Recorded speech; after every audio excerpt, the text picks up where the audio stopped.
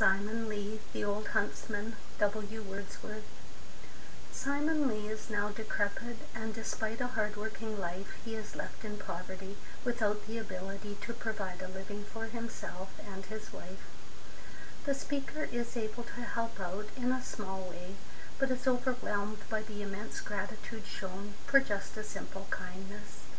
There appears to be an injustice here, and it is worth reflecting upon.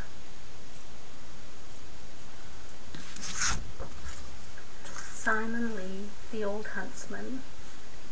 In the sweet shire of Cardigan, not far from pleasant Ivor Hall, an old man dwells, a little man, tis said he once was tall.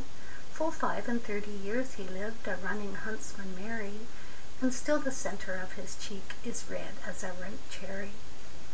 No man like him the horn could sound, and hill and valley rang with glee, when echo bandying round and round the halloo of Simon Lee. In those proud days he little cared for husbandry or tillage, to blither tasks did Simon rouse the sleepers of the village. He all the country could outrun, could leave both man and horse behind, and often ere the chase was done, he reeled and was stone blind. And still there's something in the world at which his heart rejoices, for when the chiming hounds are out, he dearly loves their voices. But oh, the heavy change, bereft of health, strength, friends, and kindred seen, old Simon to the world is left in liveried poverty.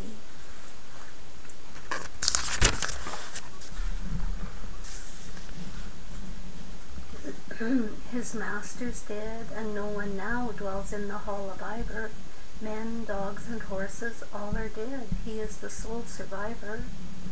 And he is lean, and he is sick, his body dwindled and awry, rests upon ankles swollen and thick, his legs are thin and dry.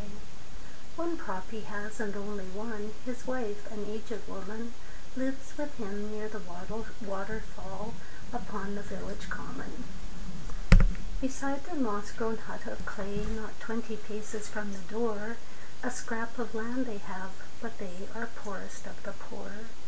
This scrap of land he from the heath enclosed when he was stronger, but what to them avails the land which he can no, till no longer?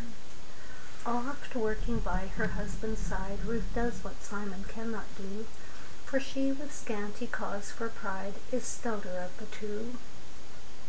And though you with your utmost skill from labor could not wean them, 'Tis little, very little all, that they can do between them.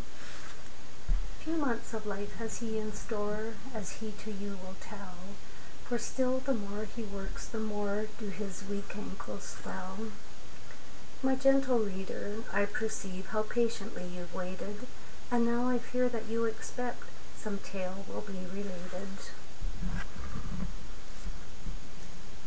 O reader, had you in your mind such stores as silent thought can bring, O gentle reader, you would find a tale in everything. What more I have to say is short, and you must kindly take it. It is no tale, but should you think perhaps a tale you'll make it.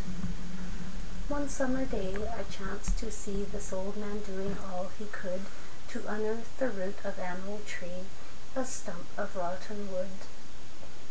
The mattock tottered in his hand, so vain was his endeavor, that at the root of the old tree he might have worked forever.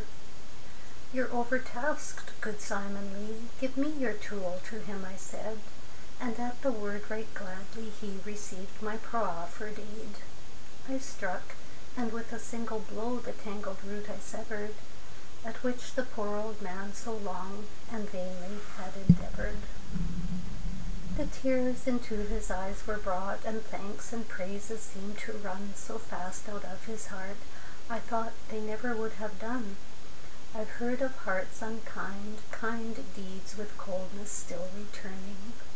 Alas, the gratitude of men hath oftener left me mourning.